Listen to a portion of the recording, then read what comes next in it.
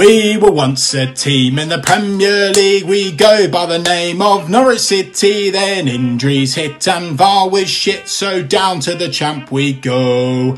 Soon may the yellow men come to bring us goals and plenty of fun. One day when the COVID's done, we'll be back at Carrow Road.